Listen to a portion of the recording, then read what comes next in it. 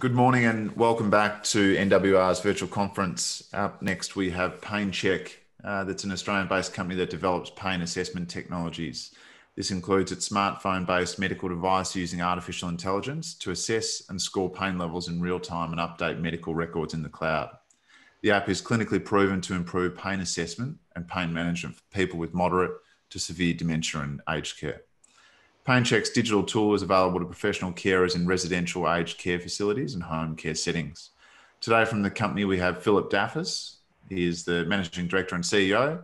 He's a highly accomplished global business leader and people manager with an international career spanning more than 25 years with leading blue chip health care corporates and novel tech startup companies. Philip has held several several senior global business leadership positions in Europe, US, and Australia. He's been instrumental in building businesses, growing market share, and developing extensive high level customer relationships in each sector. Just a reminder for those that have joined, uh, if you did want to ask a question, which we highly encourage, please do so via the Q&A box down the bottom. Philip, I'll now hand it over to you to get started. Thanks very much. Thank you. And look to all the audience, thank you for your time this morning. Um, today I'll provide you with a summary of the September quarterly results, which were posted on the ASX recently. And as you'll see, the PainChek digital technology has con continues to provide a platform to continue sales implementation within, within aged care during these very difficult times. Um, just very simply, PainChek is a novel and safe clinical tool for carers and their residents for the long-term future. Quick, uh, in terms of executive summary, um, for those who don't know the product or not aware of the business, PainChek is a software as a service business model we assess pain for those people who cannot verbalize through the use of AI, artificial intelligence, and video analysis. Um, PainChek is a medical device. It comes in the form of an app, and it's a fully digital delivery system, which has proven to be really valuable in, in today's day and age. The product has been clinically validated. We have four peer-reviewed publications, regulatory clearance with CE mark and TGA, uh, which have been for two, two and a half years now, and we're currently doing FDA. Um, we have sales in mostly in Australia, but also we've established sales in the UK, New Zealand, and Singapore to date. And we've now got license agreements in more than 800 aged care facilities and close to 70,000 aged care beds. We now also have the capital in place to expand uh, in 2021 into Canada, into Europe, and in 2022 into the US and other markets once we get FDA clearance. As you will see also through this talk, very importantly, we've, we've started now to move out of aged care only and moved into home care, hospitals, and even disability sectors. So, so PainChek is proven to be a very broad product use in, in, in um, healthcare. But first I'll start with the problem, the problem that we're addressing. And the problem is that pain assessment is difficult. It's profoundly difficult for two extreme groups. Those living with dementia and with cognitive impairment who have lost their ability to reliably self-report their pain severity levels. The second is for pre-verbal children who have not yet built those communication skills to verbally express their pain. With these people, pain is often underdetected or not detected, uh, which can lead to misdiagnosis and incorrect treatments that can impact the quality of care provided. In terms of the, the size of this problem, there are, for the children, there are 400 million pre-verbal children in the world at any one time. And there are 50 million people live with dementia. That's predicted to grow to 75 million by 2025. Our first product to market is the adult so-called dementia app. So I'm going to focus on that first, and I'll come back to the kids product a little bit later. So for people living with dementia, there are, there are a range of existing pain assessment tools for those populations, including the Abbey Pain Scale, which is in the center of your of, of the screen here. The, the, the, these, these are well proven, well validated tools, but the problem is that they are, they are manual and paper based. They're not able to be used at the point of care where you should be assessing pain, and they're subject to user bias. Uh, therefore, they are rarely today used by carers or nurses, just and leaving them to work out their own methods to assess pain for these people what we've done with PainChek, which is on the right-hand side of the, of the screen, we have intelligently automated the multi-dimensional pain assessment process, and we've introduced artificial intelligence to automate the facial assessment part, which is the most complex part of the process. And we do that through the use of AI and camera technology and, and a three second facial assessment of the, resident, of the resident. The total result is a fully mobile medical device that brings pain assessment to the point of care, maintaining the proven clinical practice. We're not changing clinical practice, but we're significantly imp improving the whole clinical process. And that's one of the reasons why it gets rapid take-up. We're not changing the way people think about pain, we're helping them do it better. I'm also pleased to confirm that Dr. Jennifer Abbey, who developed the Abbey Pain Scale um, and a leading light in pain assessment, has joined our advisory board and is helping the transition from tools like the Abbey Pain Scale to PainChek. So our sole mission is to give a voice to those people who cannot reliably mobilize their pain. We focus right now on people, people being cared for in aged care or home care or hospitals, where a carer needs to decide whether their patient or resident is able to reliably communicate. Reasons why they don't, they're not reliable is because of complex needs, such as the, the, the impact of dementia or cognitive impairment, stoicism, wanting to avoid medication, Uh, but, but, but often just living with chronic pain for many years. And they think that pain, that, that is actually normal. Well, actually, it's not normal. It doesn't need to be normal, and now it can be treated better and therefore improving overall care. This is a summary of our September results. And as you can see that during September, we've continued to, to sell and roll out PainChek within resident aged care facilities, even during the pandemic, and in fact, we hadn't actually visited an aged care facility for six months now since the COVID um, lockdown started. Um, so I will go into I will go into these results a bit more detail in a minute, but what I would say is that this continues to validate we've adapted our sales, delivery, and support methods to, to support these clients during the pandemic while fitting into the restrictions of aged care visitations during the COVID pandemic. So this time I'm going to talk, to, we're starting to talk now not about just resident aged care, which is our focus market, but we're now moving into home care and hospitals. So I'll talk about all three markets through this, through this presentation, but mostly focus on the results so far in aged care. As you're probably aware, one of the key drivers we had in the last year was the government, federal government support, uh, where we received $5 million worth of funding to implement up to 100,000 dementia beds in Australia um, in aged care for PainChek usage. We've been rolling out these contracts the past six months, um, and we've got to 50,000, close to 50,000 actual dementia beds. Um, and the, with each of these contracts, what happens is the first year it's, it's, it's, actually government funded, but the second and third years they roll on to standard PainChek SaaS agreements. So, so far today, we've, we've received 3 million in funding um, for the first 50,000 beds. In fact, prepayment was made in June 2019 for the second 25 bed tranche. Um, and we've now got another 2 million available for us right through till June this year for the second or the, the last 50,000 beds, total 100,000 dementia beds. So it's going well. Um, we'd like it to go a little bit faster, but it's going well. And we are still targeting that 100,000 beds by June. This is a summary of the growth over the past periods. As, you can see on the left, that in the one year period, we've, we've grown our aged care clients fivefold, um, which we've, we've got to around 25% of the total aged care market. So already PainChek is now probably the most common or most frequently used or, or accessed PainChek clinical tool um, within aged care. Um, and this also, this shift shows our ability not just to sign up small aged care facilities, but also large clients with multiple aged care facilities. Those 795 racks or 223 clients, um, they, they, actually produce six, close to 67,000 beds, as you can see on the chart on the left-hand side.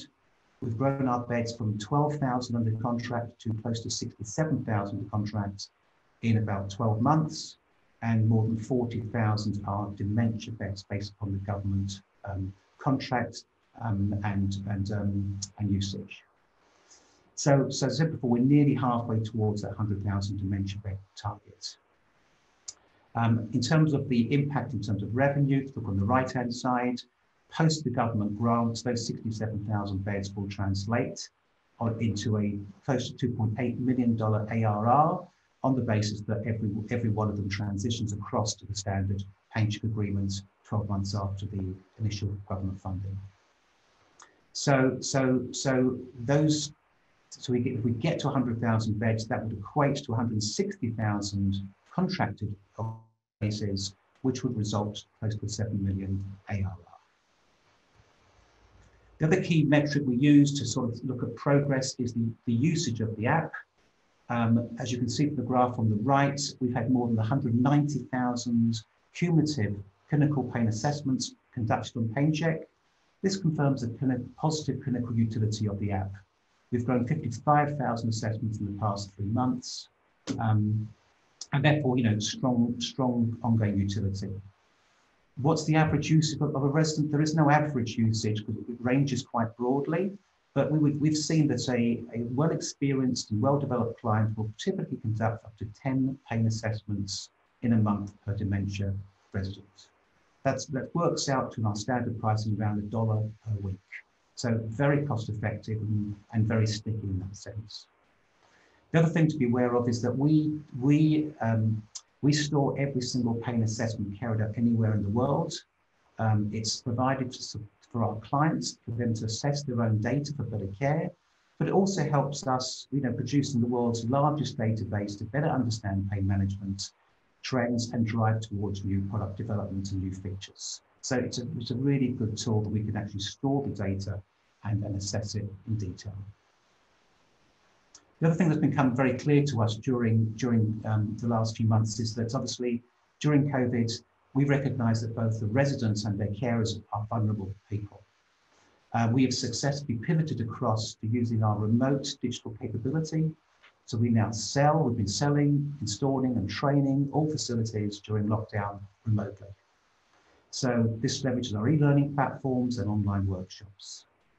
The, the key, key other benefit for PainChek is that up to pain assessment within two to three minutes. So it's rapid. We can do it from a socially caring distance, eliminating all the need for paperwork, thus again reducing risk to carers and their residents. This digital capability, you know, has, has really come strong the last six months, and it's a great tool that we can use as we as we leverage our capability globally um, and, and, and developing a very effective and, and low-cost business model. Just to give you some, some metrics on this. So yes, we've got over 800 facilities now, we've got access to PainChek. If you look what we've done, we've got more than 2,000 staff trained. Um, we've conducted more than 300 online workshops and more than 600 staff in Australia have completed our e-learning platform learnings. The result of all that is that we now have more than 5,000 people registered to use PainChek. That's part, partly through our Train the Trainer program. And today we have more than 2,700 active carers using PainChek um, in, age, in aged care.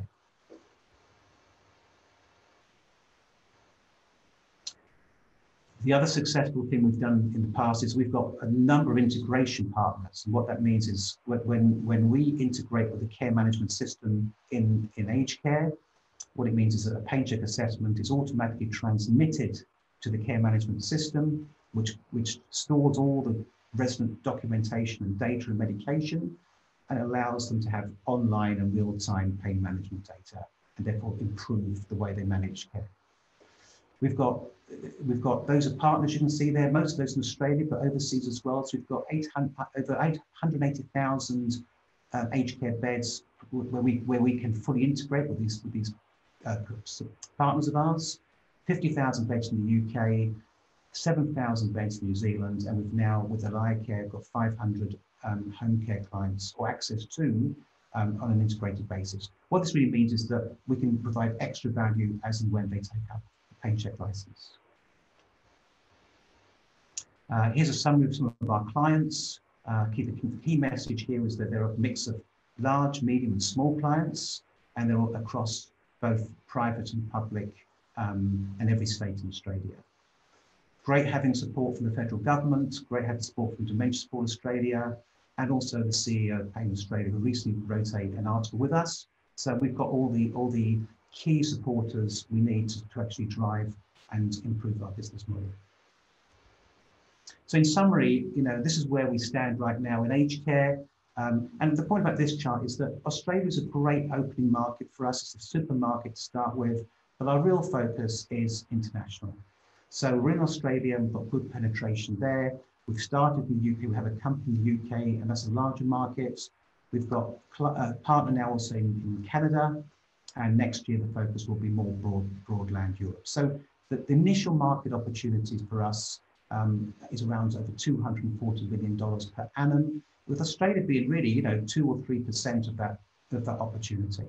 So ours is a global business and that's our focus. If I just now then want to move now towards home care, as you can see the top of this chart here, our aged care market is around globally around 300 million. But our home care market, this is where more and more people uh, do want to stay at home and where the majority of people with dementia live, is we see that as being 10 times the opportunity.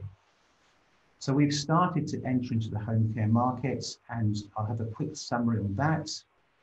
So, so again, you know, we're in, we've started in Australia with three pilot programs um, with, with home care providers.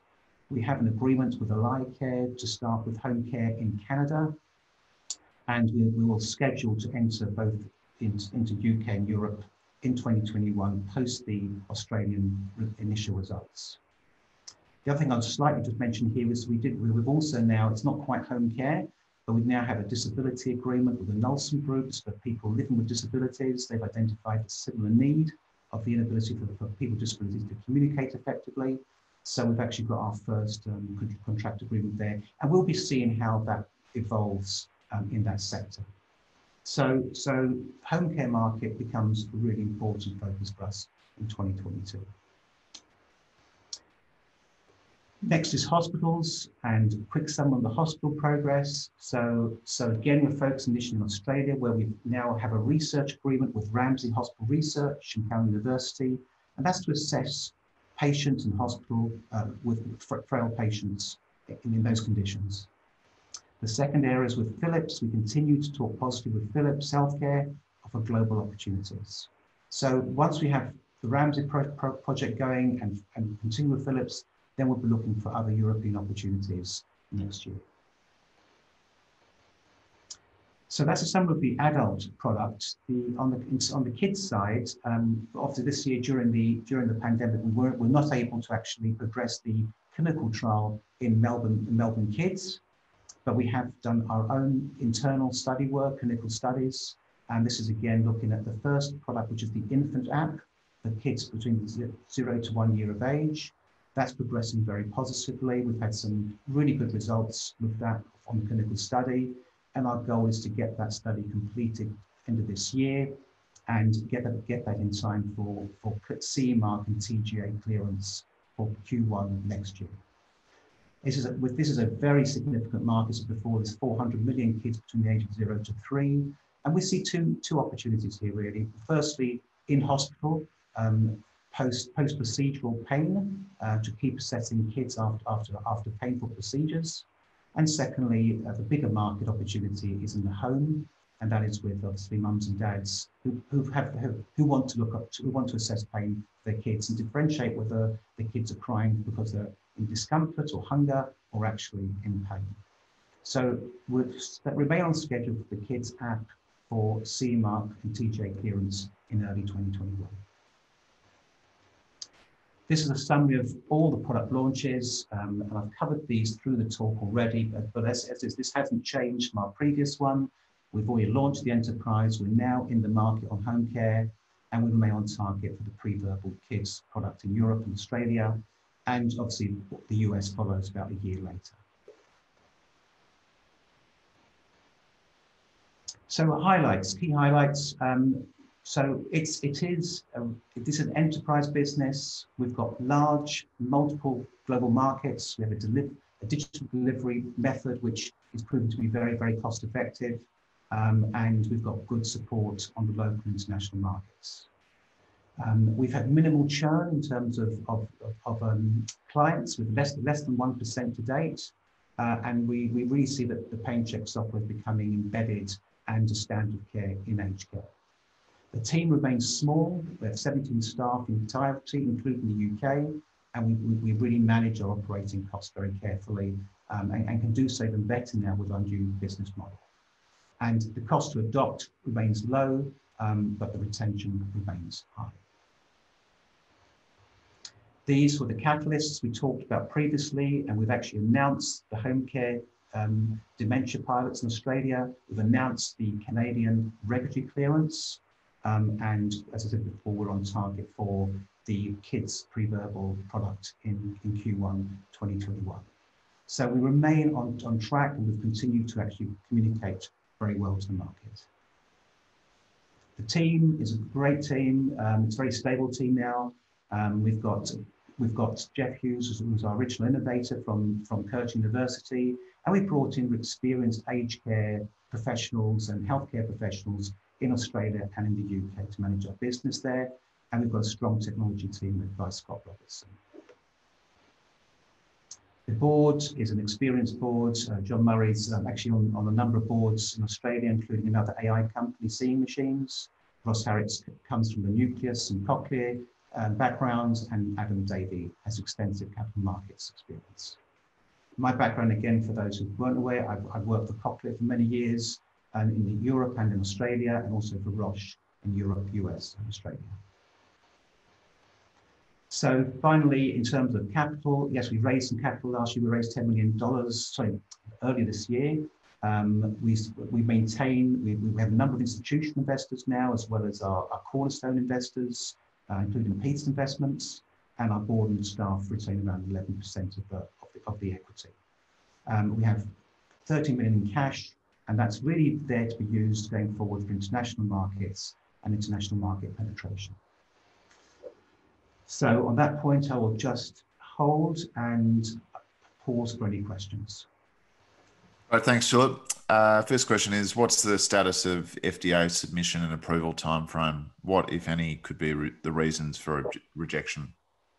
Uh, right. So what we've done, we've submitted, we've, we've, we, we put in more than 120 days ago a pre-sub sub supplement, which is basically saying this is the study we're going to conduct in the US, and if we conduct this study and if we get it and it all goes to plan, will we get FDA clearance? Now, that's that is that was submitted about 120 days ago, a bit more actually. We are we've been waiting for the last I would say four to six weeks to get that final response from the FDA. Um, and once they, they do come back to us, then we're ready. We've already set up our clinical study protocols and programs to get the work done.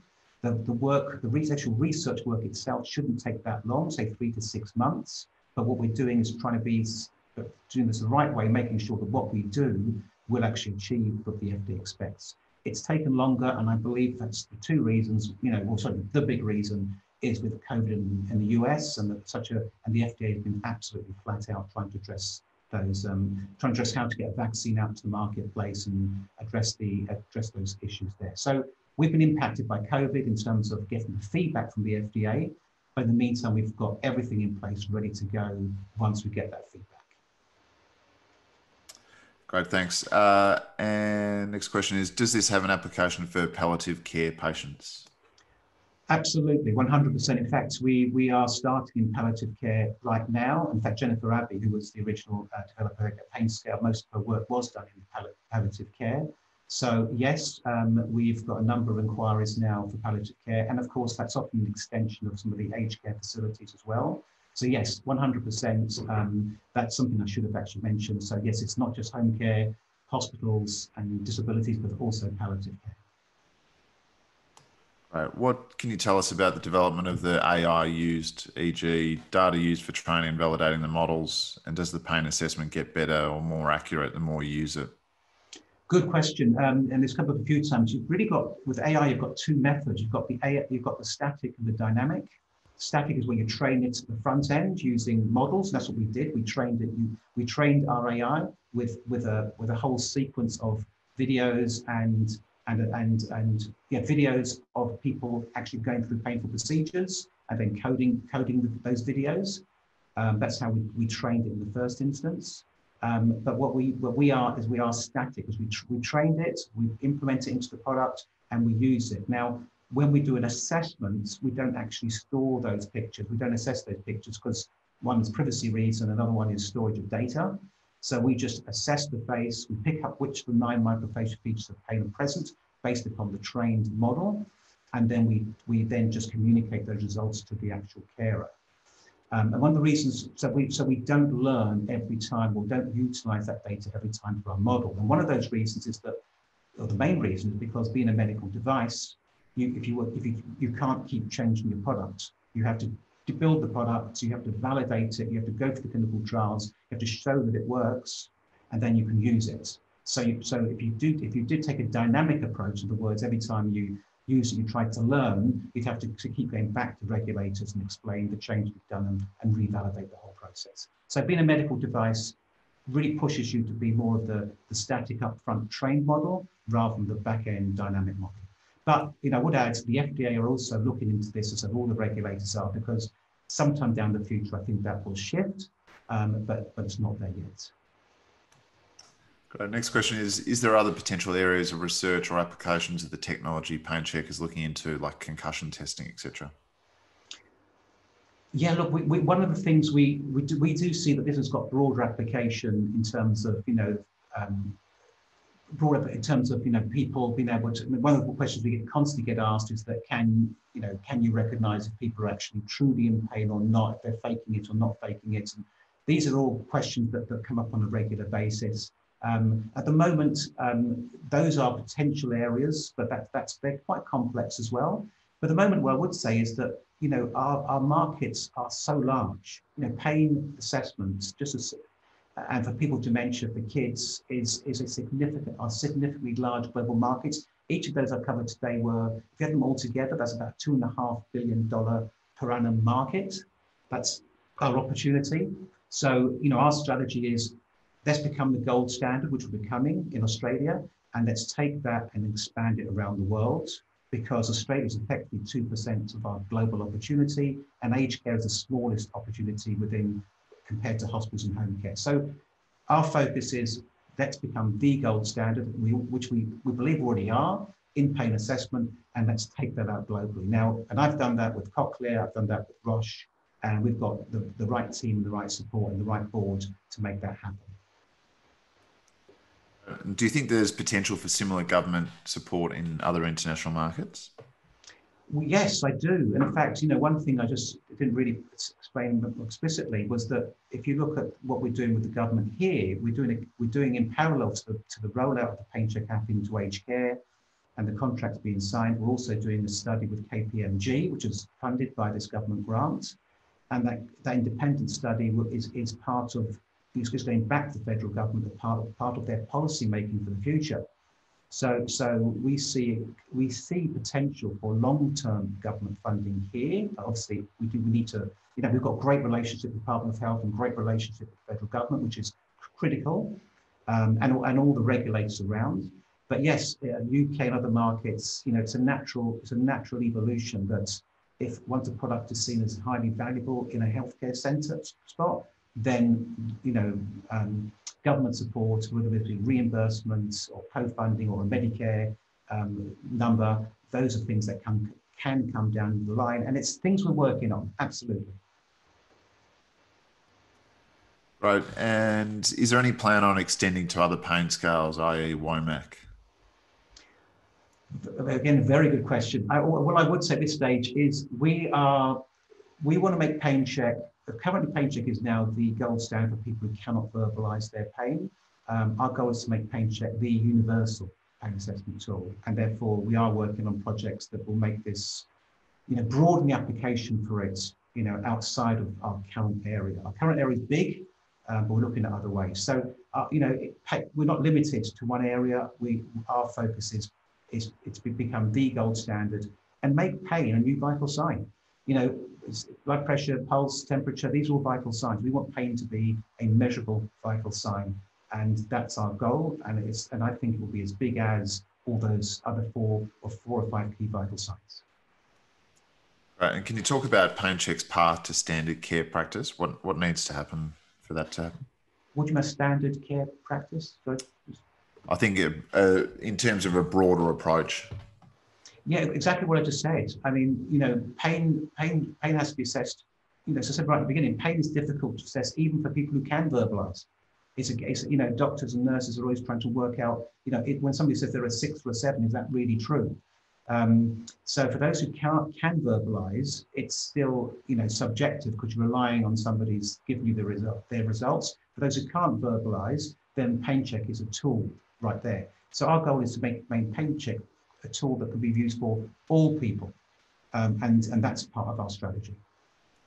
Right, thanks, Philip. That uh, concludes the questions. I might just hand back to you uh, to to wrap up, and we'll we'll finish up there. Thanks very much. Well, just from, from, my standpoint, to say thank you, thank you, everyone. Thanks to all the shareholders, and supporters for, for your support for the past period. Um, you know, if there's one message I would get out to everybody, and that is, you know, we have we've established ourselves in aged care. We are the most commonly used tool, clinical tool, should I say, software tool in aged care now. Uh, we've got great take up and great great retention of our existing clients. Our goal is to take that beginnings and take that broader into home care, into hospitals, into disabilities, and do that on a global scale. So, so my focus for the next 12 months is with Establish Australia, and our focus as a company now is the international markets and the broadening of the applications. Great. Thanks so much, Philip. Thanks all for Pleasure. joining. Thank you. Thank you, everyone.